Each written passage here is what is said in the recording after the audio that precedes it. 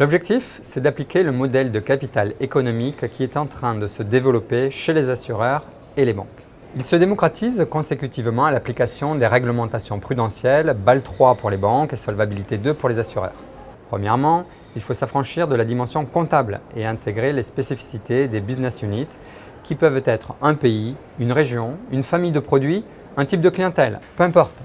L'objectif est de coller à la culture de l'entreprise et donc à son reporting.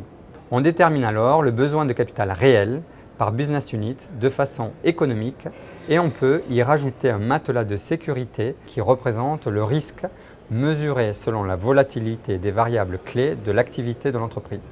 Le risque pays, le risque devise, le risque lié au prix de la matière première, tous les risques. On définit ainsi un capital économique pondéré du risque, RAC, Risk Adjusted Capital, loin de la notion de capitaux propres comptables pour chaque activité. Le risque inhérent à chaque activité est ainsi reflété dans cet indicateur.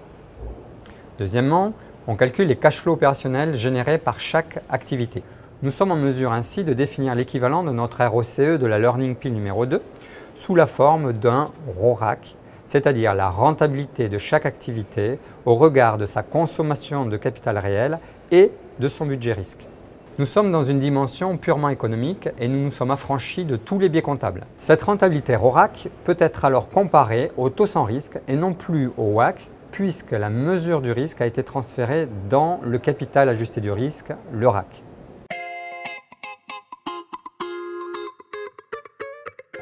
Alors elle existe aujourd'hui dans une cinquantaine d'entreprises du secteur financier, mais grâce à BAL 3 et à Solvabilité 2, elle se démocratise et va se généraliser très très vite je vais avoir des activités qui finalement sont très très risquées, très rentables, c'est vrai, mais très risquées.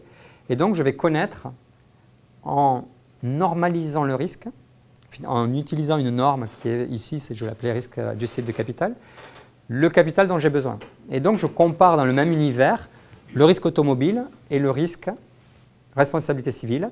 Je comparais dans le même univers le Nigeria et la France. Je comparais dans le même modèle Pierre et Paul. Donc je ramène à une base commune le capital alloué pondéré du risque. Donc du coup déjà ça change la configuration. J'en ai une, je n'ai pas mis ces chiffres parce qu'elle est plus facilement identifiable, qui est carrément 10% euh, du chiffre d'affaires représente 40% des fonds propres.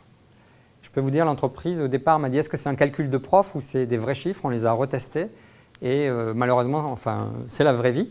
Et du coup, ils sont en train de repenser complètement leur modèle économique pour que ça consomme moins de capital. Ils sont en train de chercher à faire des acquisitions pour amortir aussi les résultats, etc. Certains industriels observent cette approche avec intérêt car elle présente incontestablement de très nombreux avantages. Elle offre une mesure de la performance qui colle à la réalité du business. Deuxièmement, elle permet d'avoir une approche par business unit en harmonie avec le système de reporting du top management. Elle permet de déterminer le capital requis pour exercer l'activité par business unit et intègre un buffer pour le risque. Quatrièmement, elle offre une vision globale de l'entreprise et elle permet d'en établir un état des lieux. Quelles sont les activités les plus rentables au regard du risque? Elle offre une vision prospective en faisant évoluer les variables clés de chaque business unit et en mesurant l'impact sur la rentabilité pondérée du risque. Elle permet de mesurer l'allocation des ressources entre les différentes activités et de procéder à des arbitrages entre l'existant ou d'allouer de nouvelles ressources. Le dernier avantage, probablement le plus important, elle permet ainsi d'objectiver les décisions stratégiques réalisées par le top management.